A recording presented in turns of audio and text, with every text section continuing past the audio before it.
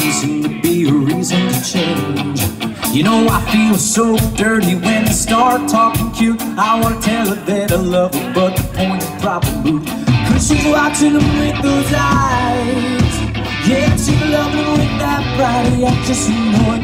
Yeah, he's holding her in his arms